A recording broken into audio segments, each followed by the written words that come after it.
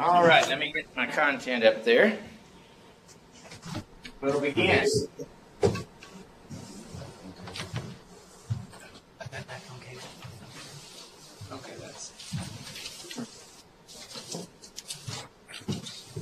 All right, we were talking about um, chapter 3 and the idea of birth, the physical idea, the spiritual idea, being born from above, enabling us to see the kingdom of God. and as Brother Jeremiah pointed out to us earlier, uh, John continues to talk about the effects of being born of God all the way through First John. But John, Gospel of chapter 1, verses 12 through 13, is certainly connected to this. as many as received him, that is, received Jesus, to them gave he power to be children of God, even to those that believe on his name, who were born, not of blood, not of the will of the flesh, nor the will of man, but of God. so, born of God is the same thing as being born from above, God being the source of that new birth. So Nicodemus doesn't get it. He says, How shall I be born when I'm old? Shall I enter my mother's womb a second time and be born? He's taking the, the literal. Now you see the you see Nicodemus's statement. Compare Nicodemus's statement with chapter two, verse twenty where um, the people say, This temple took 46 years to build. You're going to raise it up in three days? Compare that question to John chapter 3, verse 4, where Nicodemus says, How can a man be born again when he is old?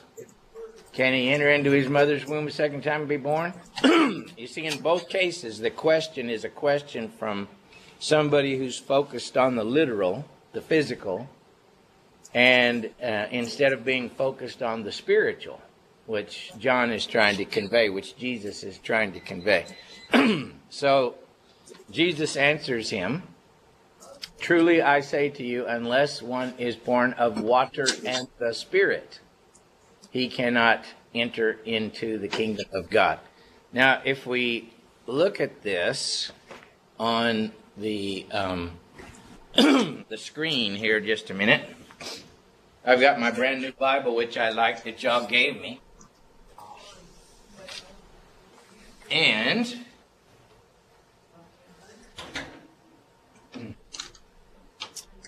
let's widen out just a little bit. All right. Notice here I've been marking down all the places where he talked about being born, born from above, born when he is old born, born of water and spirit. Notice there really isn't a art an article on the spirit. Born of water and spirit is what it says. born of spirit.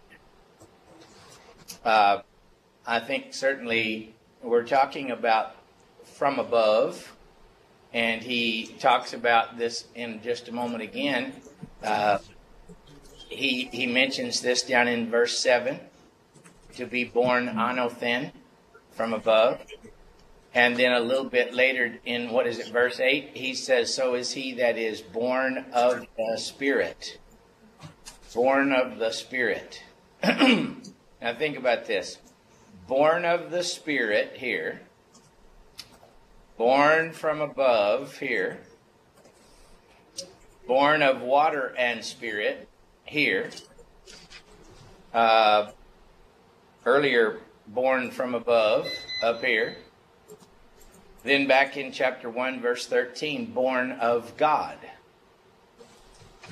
So you've got born of God, born from above, born of the Spirit, born of water and spirit. I think all of these are describing the same thing. And certainly from, from verse 5, uh, the early people who interpreted this passage certainly took this as a reference to baptism, at least the water part. but um, certainly there's more to this than just getting dunked in some water. This is something that originates from God, as we talked about in the book of uh, First John. Uh, we talked about um, the fact in First John three verse nine. Uh, let everybody turn to First John three nine again, real quick. First John three nine says, "Everyone that is born of God does not continue to sin." Why? Because his seed remains in him. And the word seed there is sperma, S P E R M A. So his seed remains in him. Whose seed? God's seed. The seed of the Spirit. so God plants his seed, his word, in us. And that seed creates a new being if that seed is implanted deep in a human mind. And as long as that seed remains in us, we cannot live a lifestyle of sin. See? So John develops this further in the in the book of First John. so born of water and the Spirit. Born from above. You can't see the kingdom of God unless you do this. You can't enter the kingdom of God unless you do this. And then he clearly contrasts the two kinds of birth in verse 6. That which is born of the flesh is flesh. See, that's birth with a little b. That which is born of the Spirit is spirit. So to become a spiritual being, to become a, a, a something more than carnal, we have to have the seed of God planted in us, and we have to be transformed into that spiritual being. Yes, Brother Jeremiah. Big S or little s? Which one? Uh, when it says that which is born of the Spirit. oh, I um, think I think that's a big S. Okay, why would they not? Um, whenever it says born of flesh and then born of spirit, I, I'm I'm seeing that as like contrast, like it is. walking flesh and walking after the spirit. yeah, but it has it has the article with it this time. Well, it has the article with the flesh too. Yeah. Does that make no, the flesh special? No, but See, what's the source of the birth if we follow from chapter 1, verse 13? Born of God. God, yes. Chapter 1, verse 13. That's what makes you capitalize it. Born from above. What, what's the source of the birth from above? Well, it's God. Yes. Born of the Spirit. now then, um, we're gonna we're gonna talk more about the spirit as we as we go along in this um, in this book, but I think they're legitimate in capitalizing it here. okay. All right. So the Holy so, Spirit is what, is what does the work in redemption. Here. Yeah, and the Holy Spirit is what does the work in transformation. Okay, Through, that makes sense. Yep. So, um, a a fleshly being is the product of a fleshly birth. A spiritual being is the product of a spiritual birth. And so God has to get involved in this birth. Heaven has to get involved in this birth, birth for it to be uh, spiritual. So the outward act of the water is important because God said so, but not it doesn't affect a new birth without the spirit being active in it as well. so he says, Do not marvel that I said to you, You must be born from above. And then you have to see this in the original to get the point. In, in verse 8, he, he's using a play on words here in verse 8. So you, you have in verse 8 the wind, right? Mm-hmm. But look at look at the screen there in green.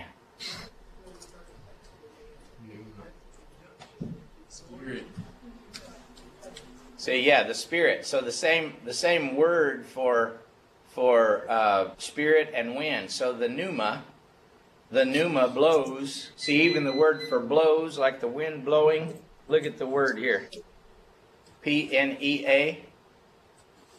The wind, the pneuma, blows, and you hear the sound of it. You hear the sound of it, but you don't know where it came from or where it is going. So is everyone who is born of the pneumatos, pneuma. So you got pneuma here and you got pneuma here. So he's he's been talking about that which is born of the flesh is flesh, and that which is born of the spirit is spirit. See? And then he says the pneuma, so he's using the word wind to to illustrate how the spirit works. And what he's saying in verse 8 is you can't see the spirit, but you can see the effects of the spirit, just like you can't see the wind but you can see the effects of the wind. When the trees are moving, that's that's the trees moving. You're not seeing the wind. You're seeing the effects of the wind. When you hear a sound, it's not the wind. It's uh, the the leaves brushing together and the branches creaking. That's what you hear. It's the grass brushing on each other. That's what you hear. But you do not see or hear the wind, but you see what the wind does. So the one who is born of God practices righteousness. You see it, see the effects. The one who is born of God loves, 1 John 4 7. The one who is born of God does not continue in sin. You see the effects of the pneuma, but you don't see the pneuma. Okay? Yes, sir, Brother Jeremiah. Could Jesus be referencing the the works that he does by the power of the Spirit as well? Probably not here because he's talking about this personal birth. Except a man be born from above. He's talking about something that happens in the individual. All right. So, of course, we remember this one from chapter 1, verse 12 and 13 born of God. Similar to born of the Spirit. But who is it that is born of God? Well, if you look at verse 12 here on the screen, it's those that receive Jesus, it's those that believe on Jesus. Those are the people that are going to be transformed. So the process of accepting Jesus, the process of believing in Jesus, res- results in this heavenly rebirth. Because you can't believe on Jesus and accept Jesus unless you've accepted his word into your heart and been convicted and converted by it. See, so it's those who believe Jesus, those that receive Jesus, those are the ones who are born. So it's it's the welcoming Jesus into your life is what causes this new birth, this birth from God. All right, so we we've gone through these in First John, but just to review you, you got your First John two twenty nine. Everyone who practices righteousness is born of Him. And then you've got your 1 John 3 9. You don't keep practicing sin if you're born of Him. See, this is what you can see in the life of a person. You got your 1 John 4 7 and 8, which says you're, you're going to exhibit love if you're born of God. 1 John 4 7 and 8. 1 John 4 or 1 John 5 1, you're going to believe that Jesus is the Christ. And you're not only going to love God, but you're going to love those that are born of God if you're born of God.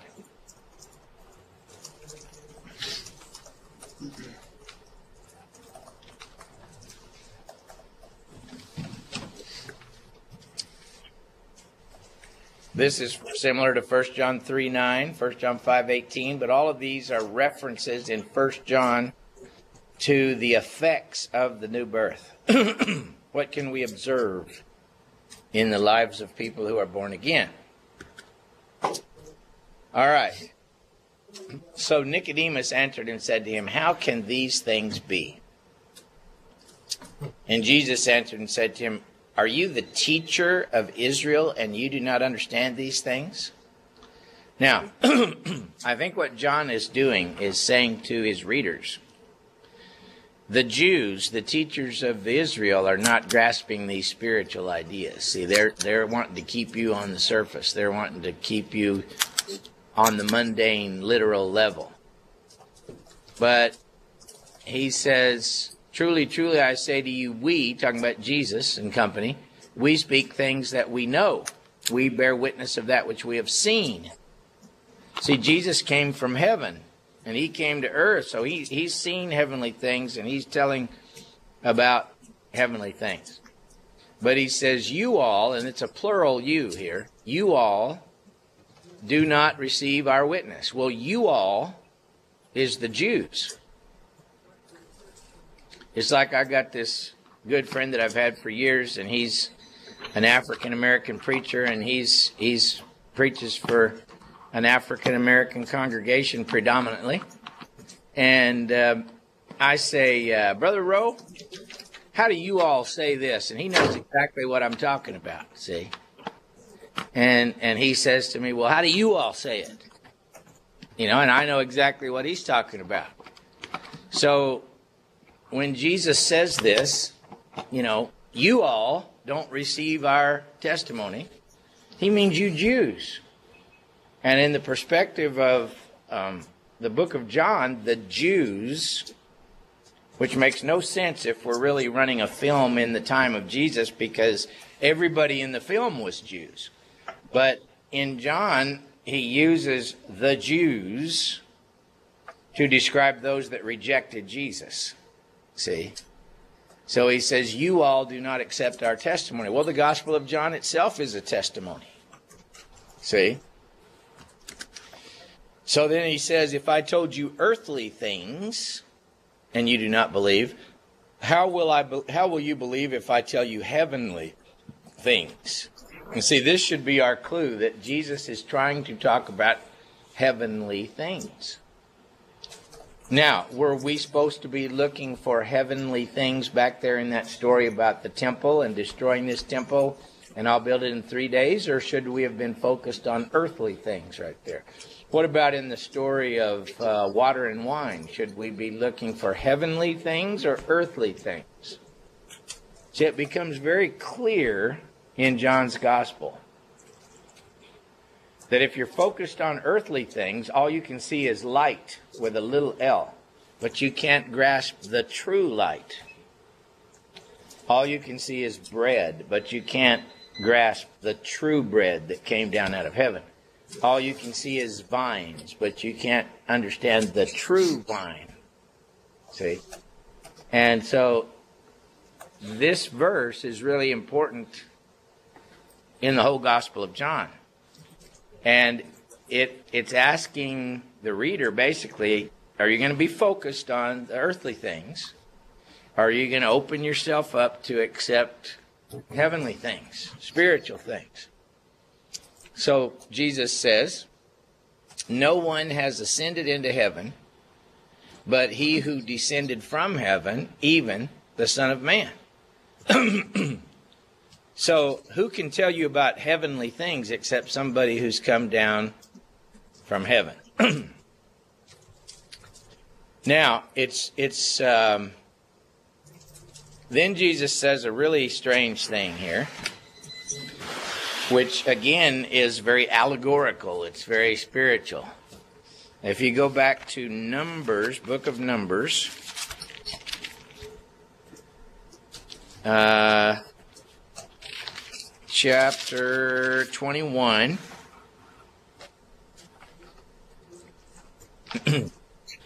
Numbers 21. Everybody just go back there and let's read it together.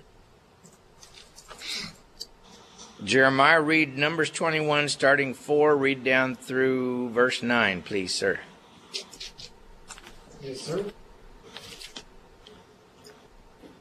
Then they set out from Mount Hor by the way of the Red Sea to go around the land of Edom.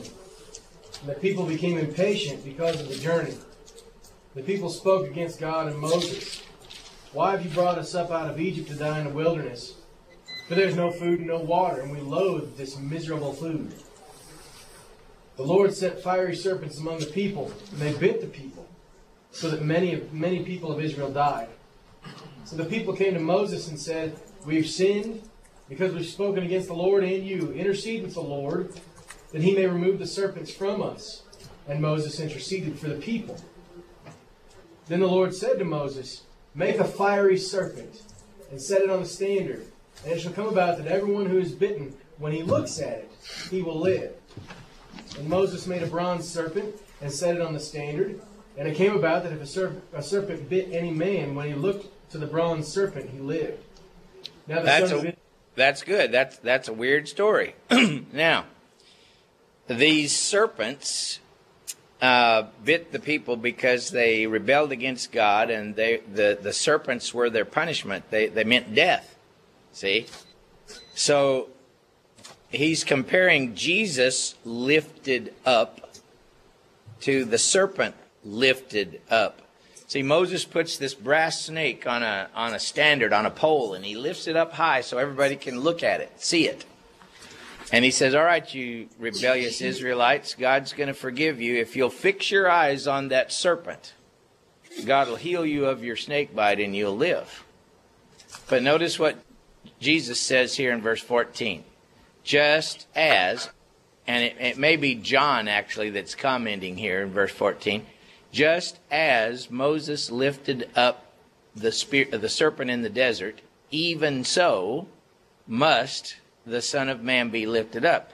Now, why did Moses lift up the serpent? Because the only way those people were going to be healed of their snake bite and live was to be able to look at that serpent. So he lifted it up high, and they had to focus their attention on that serpent in order to be healed. So Christ must be lifted up so that we can focus the attention of our life on Jesus. We got to have our attention on Jesus. See, there's a lot of things that want us to be focused on them in this world. But if you want to live, if you want to be cured, if you don't want to die, you need to focus your life on that lifted up Son of Man. Now, let's look up, Lagrange, look up 828 for me. And Brother Ben, if you would look up 1232 for me. 828 and 1232. Parker, was 828 say?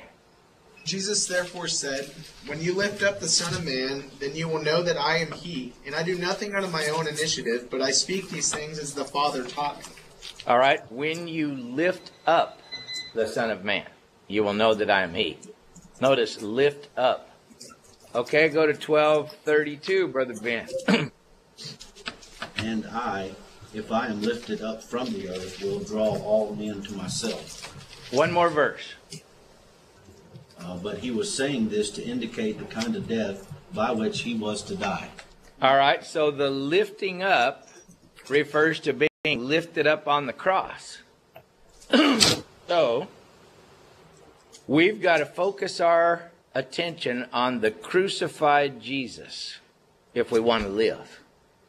Just like those rebellious Israelites needed to focus their attention on that serpent lifted up on that standard, we've got to focus our attention on the crucified Son of Man if we're going to live. All right? So, starting with verse 14, um, it's very difficult in here if you're if you're reading this to tell where Jesus' talk with Nicodemus ends and John's comments begin. But my opinion, for what it's worth, and it doesn't mean a thing, you'll have to study it for yourself. My opinion is that Jesus' comments to Nicodemus end in verse 13, and John the Apostle is explaining beginning in verse 14, where he says, Just as Moses lifted up the serpent in the desert, even so must the Son of Man be lifted up, so that whoever believes may in him have eternal life. And then when we read, um, and you notice that you have believe and eternal life, like you have in the purpose statement at the end of the gospel. You know, these things are written that you may believe that Jesus is the Christ, the Son of God, and that believing you may have life through his name. verse 16, which is our favorite verse of all time for everybody, see, is really an explanation of verse 14 and 15. See, how is it? In what way is it true that uh, just like Moses lifted up the serpent, everyone must, uh, the Son of Man will be lifted up so that everyone who believes may in him have eternal life. Why is that true? For, say the for goes back to verse 14 and 15. Here's why it's true. For God so loved the world. Notice the way verse 15, verse 16 is worded. It's already past tense. It's already a done deal. God so loved the world that he gave his only begotten Son. See, this is John talking, looking back at the death of Christ. God so loved the world that he gave his unique Son so that whoever. Now, let's dissect this a little bit. God so loved that he gave. Well, if you if you go back to 1 John 3:16, this is how we even know what love is because he laid down his life for us. So, how did God love? He so loved that he gave his only son. All right? What did he love? He loved the world. The world. Well, if, if you go back to John 1, verse 10, at the end, the world did not know him. So the world is the ones that don't know God. But God, so in this way, to this degree, He loved the world, the ones that didn't know God. um, write down beside verse 16, John 15, 19. Jesus is talking to his disciples and he says, since you are not of the world, and I chose you out of the world, therefore the world hates you.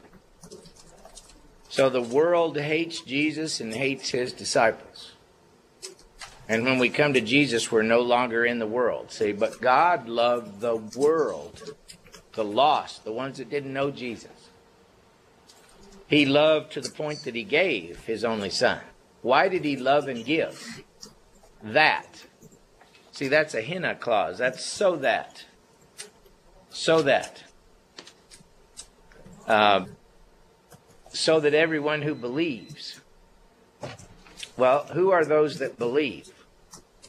If you go back to chapter 1, verse 12, as many as received him, to them gave he power to become children of God, even to those who believe on his name, who were born so receiving Jesus is the same as believing on Jesus, is the same as being born. So why did God love and give? So that whoever believes. See, he loved and gave to make it possible so that everyone who believes in him, in Christ, should not perish. See, like they would they would have died of snake bite, and we will perish in our sins. Um, where is it? John 8, 28, maybe, somewhere around there. Unless you believe that I am He, you shall die in your sins. Maybe it's 824, somewhere in that neighborhood. Unless you believe that I am He, you shall die in your sins. so He gave so that whoever believes should not perish, but should have eternal life. But we're not talking about just death by snake bite. We're talking about eternal death and spiritual life. Um, in John chapter um, 5, verse 24. Write this down. John 5, 24. Everyone who hears my words and believes him that sent me has, present tense, eternal life, and does not come into judgment, but has passed out of death into life. So, this eternal life is spiritual life. It's life in fellowship with God. And God loved and gave so that believers would not perish. They would not die in their sins. But they would have this fellowship with God, this eternal life, this spiritual life, both now and forevermore. in the Gospel of John, notice I'm not saying everywhere, every place, but in the Gospel of John, eternal basically means spiritual. Eternal is not emphasizing so much duration as it is emphasizing an otherworldly quality, a different quality. In other words, spiritual as opposed to fleshly. Eternal life, heavenly life, spiritual life. And in John's writings, if you don't have eternal life right now, you're not going to have it later either.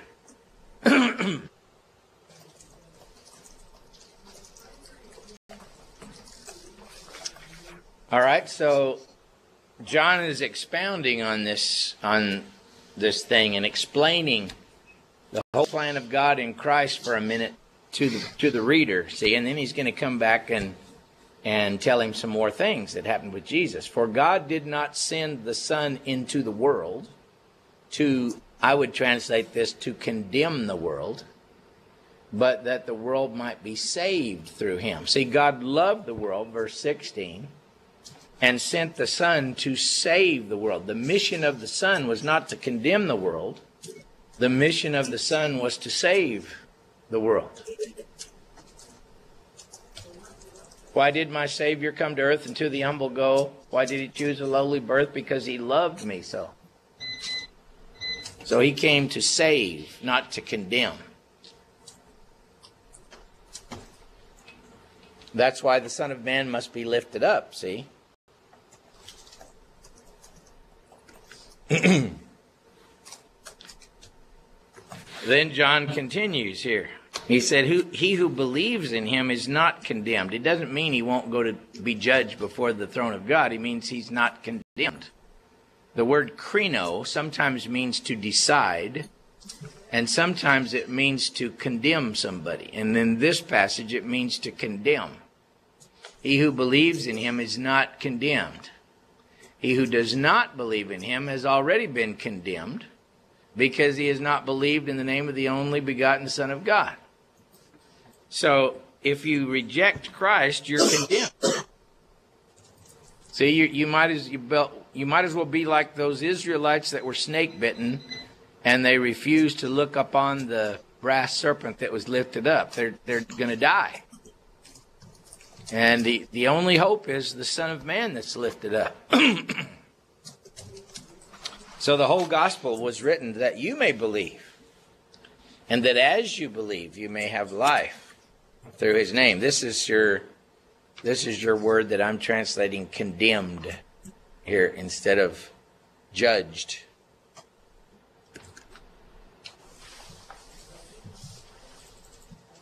And this is the condemnation. In other words, this is the reason why they're condemned. Verse 19. Because the light has come into the world. Now, if, if you go back right there in that verse, go back to chapter 1, verse 8 and 9, where it says, John the Baptist was not that light, but he came to bear witness to the light. Verse 9, Jesus was the true light that enlightens every man coming into the world. So, light of the world, you step down into darkness. That's uh, what we're talking about right here. So this is the judgment that the light came into the world and men loved the darkness rather than the light. See, they didn't want to accept the light because their deeds were evil. They wanted to stay in the darkness. That's why they're condemned.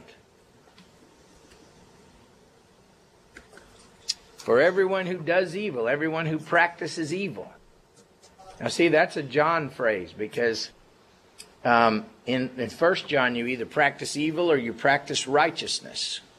See? Everyone who practices evil hates the light and does not come to the light, lest his deeds should be exposed. So, see, if you're going to do evil and you want to do evil, you don't want your deeds to be exposed. You don't want to show how ugly they are and how bad they are. You stay in the darkness and do your evil deeds. But he who practices the truth or practices righteousness, he comes to the light so that his deeds may be made manifest as having been wrought in God. so we step into the light and let ourselves be exposed, and we bring ourselves to repentance, and we try to pursue righteousness, and that shows this transformation of our intent and our purpose and our direction and everything else. When we step into the light, when we embrace the light with a capital L. Jesus. But those that won't believe are those that won't step into the light, are those that refuse to look at and focus on the lifted up Son of Man. And so they're going to die.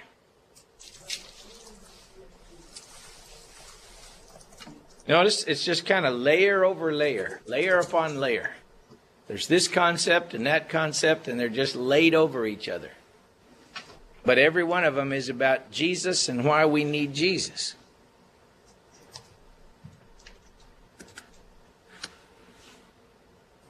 Okay.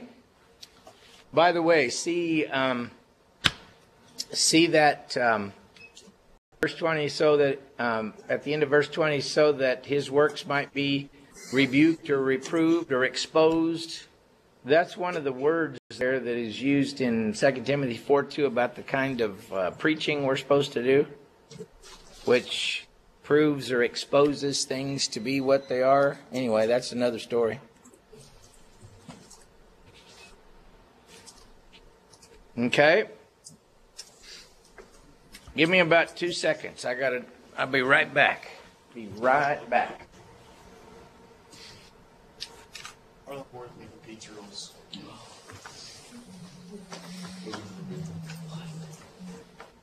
You're trying to go grab two of those and be my Chick-fil-A. You think they're gonna be done by the lunchtime? Yeah. Cause you still have the dough rising when you send that picture to us. Let us ask.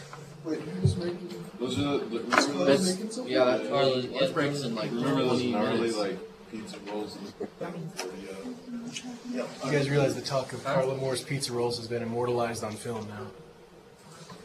It's true. Awesome. Hey Dan, you've gotta try them, bro. I love how you said it. Not here. Listen to this All the recording. poor people that are listening to this recording are not going to be able to experience those pizza rolls. I'm so sorry for you. It's kind of funny. Carl's having a seizure. Just kidding. All right. Who's seizing? That's Carl. Just Carl. Pretty normal. I'm dehydrated. I'm so sorry. Have you got a cramp? Have you got a cramp, Carl? Yes. I My get cramps. I get cramps in my legs at night, where my my calves and my thighs just cramp up in the back, and I can't even stand up, and I have to get up in the middle of the night and just stand, and I go get something to drink, and it goes away. Sounds like a growing king, like first. Yes, You're, uh, I, I don't want to embarrass you. but You take any supplements or anything? Potassium. supplements? Steroids. No, Try uh, try magnesium. and that'll help. Man, does it ever. Okay, magnesium. Yeah, probably two to four hundred milligrams, and just understand that um, you're probably depleted of it. You might die. So it'll act. It'll act like Imodium AD, if you know what I mean. Yeah. Um, let, Go let's figure. don't let's don't talk about it anymore. I'm telling you, man, it'll solve that problem. All right. Sleep like a baby. As, as often when you solve one problem, sometimes you create another problem. Anyway, We're not talking about this anymore. all right. So in J- This is a great recording. John chapter 3, after this whole discussion about just as Moses lifted up the serpent, why did God send his son into the world to save us? To me, you have John chapter 3, verses uh, 14 through 21 as a sort of an interlude where John, the old apostle, kind of says, Listen to this. Is, this is the whole thing in a nutshell here. Just stay with me, and I'll explain all of it later. But here it is: why Jesus came, and then he comes back to the story. See, after these things, Jesus and his disciples came into the land of Judea, and he was spending time with them and baptizing. He was immersing. Well, you know, back in chapter one, verse what thirty through 31, somewhere in there. Uh, John the Baptizer was baptizing, and the Pharisees said, Well, why are you baptizing? And he said, So that he might be made manifest to Israel. And then you have the whole story there. But now Jesus is baptizing. Says John was also baptizing in Aenon near Salim because there was much water there, and they were coming and being baptized. So here's Jesus baptizing and John baptizing at the same time. It says, For John had not yet been thrown into prison. So there was this small period of time where Jesus and John were attracting followers and preaching and baptizing at the same time. So, verse 25 says, There arose a dispute um, among the disciples of John with the Jordan about purification. Uh, now, no wonder about purification because Jewish ritual immersion was all about purification. And it was about becoming clean as opposed to unclean so that you could be acceptable to go offer your sacrifices and all that kind of stuff. So they're arguing about purification and how all this works. So they came to John and said to him, Rabbi, see, John is their teacher. Uh, he who was with you beyond the Jordan, the one to whom you have borne witness, behold, he is baptizing, and everybody is coming to him. John, we got a problem. This other guy that you were pointing us to, he's baptizing and everybody's going to him. And John answered and said, um, No man is able to receive anything except what is given to him from heaven. Um, you yourselves bear witness that I said, I am not the Christ, but I am sent before him. See? So he's just reiterating what he said in, in, the previous discussion in chapter 1, verse 19 and following. Then he says, The one who has the bride is the bridegroom. But the friend of the bridegroom, see, John is the friend of the bridegroom.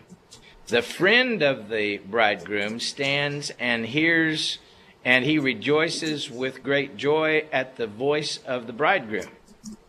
Uh, therefore, my joy is made full. So, um,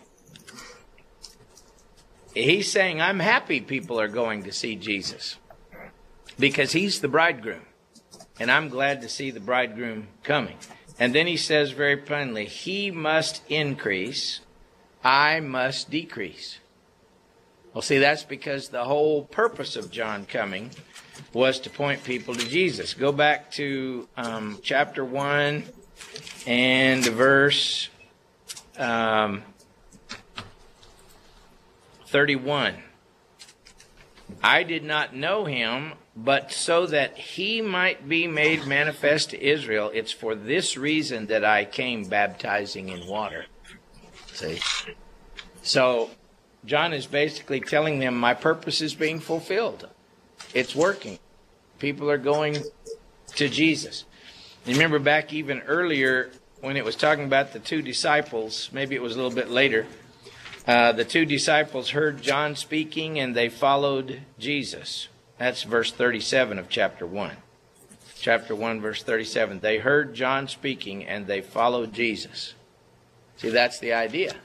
So he must increase, I must decrease. So there's this comparison between the two. Jeremiah, are you lifting up your hand like the serpent was lifted up in the wilderness? I don't have any power to heal anybody, but yeah. Yeah, okay. Um, I, I've kind of hit on something, and I have not noticed this before, and it's causing me a problem. Um, in Matthew, Denny explained to us about how Jesus would baptize either with the Holy Spirit or with fire. It's either going to be one or the other. Um, and, and that lends to the discussion about how John's baptism was different than Jesus' baptism because Jesus' baptism had the element of the Holy Spirit. Um, not while he was on earth. So you know where I'm going with this. Jesus is baptizing people here. Yep. I, I, I've never considered this little brief clip right here where Jesus is baptizing people. With Is he water. baptizing John's baptism? Yes. Jesus is baptizing them into John's baptism. Yes. Okay. Thank you. Yep. So, um, the baptism of the Great Commission never could happen until the death and resurrection of Jesus. But yes, he's baptizing with John's baptism. So now John continues this comparison for the sake of his disciples. And he's talking about Jesus here. He says, He who comes from above, Anothen, is above all things. So when you're when you follow Jesus, you're following the one who is above all things. He who is from the earth, that's John, is from the earth and speaks from the earth. So there's the comparison. Jesus is from heaven, John is from the earth. If you go back to our discussion in the previous class, in John 1, verse 6, there was a man sent from God whose name was John. See, that's very different than in the beginning was the Logos, and the Logos was with God, and the Logos was God, and all things were made by him. But there was just this man that was sent from God, and his name was John. Well, see, John is a man from the earth, Jesus is from heaven. All right? Verse um, 31 at the end He who comes from heaven, that's Jesus, is above all. What he has seen and heard of that, he bears witness. So he's, he's bearing witness of things that he himself has seen and heard in heaven. And no man receives his witness. It's people are rejecting what he's telling them. He who has received his witness has set his seal to this that God is true. In other words, if you if you accept Jesus as witness, you're accepting the things of God. For he whom God sent, that's talking about Jesus, speaks the words of God. For he gives the Spirit without measure. Now, there's there's a lot of people that argue over this verse, and I don't know all the intricacies of this verse, but I'll tell you what I do know. Uh,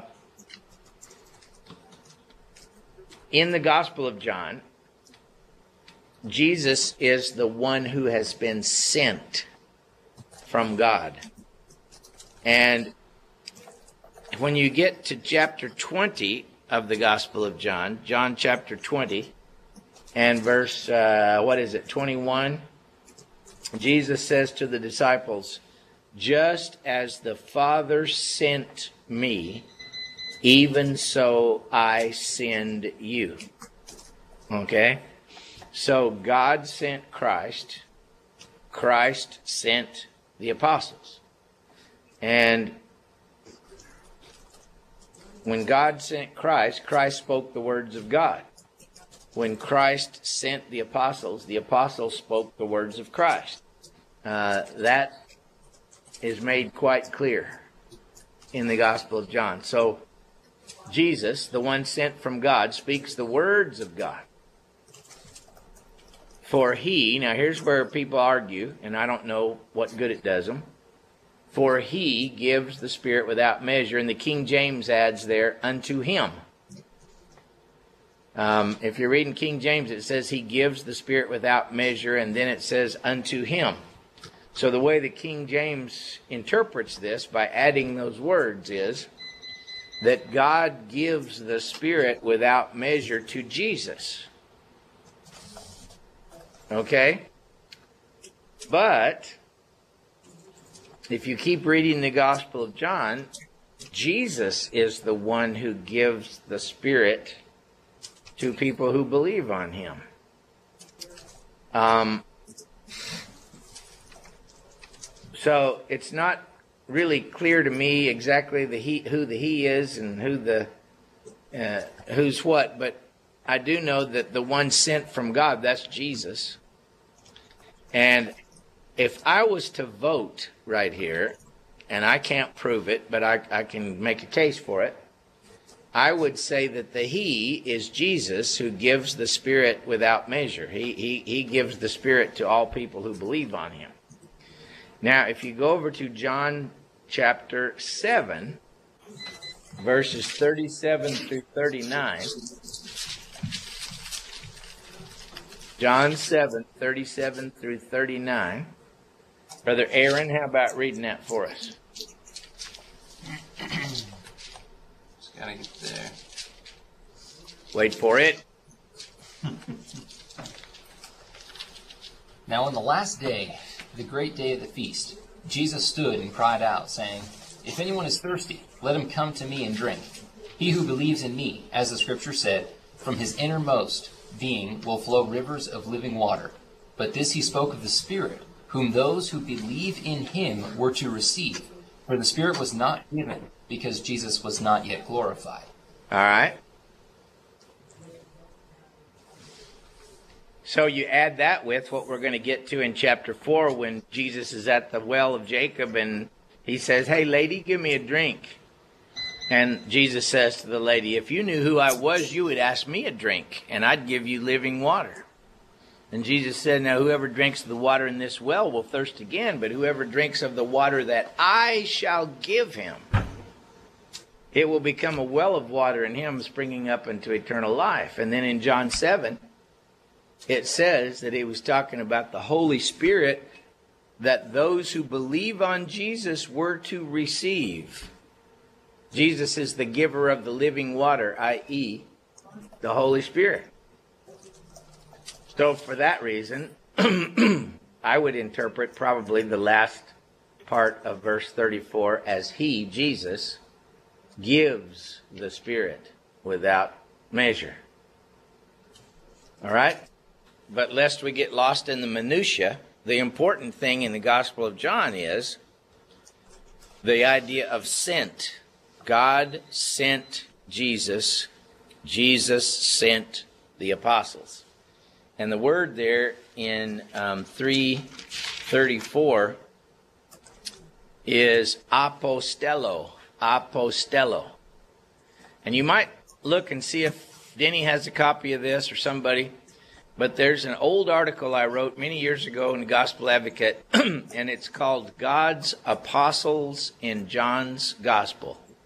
God's apostles in John's gospel. And the idea is Jesus was God's apostle, and then the 12 were Jesus' apostles because the word means to be sent out with a message. One more time the title, Dan. God's apostles in John's gospel.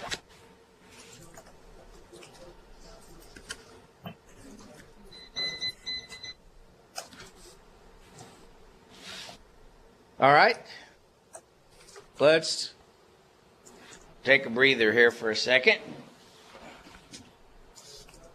Wait a minute.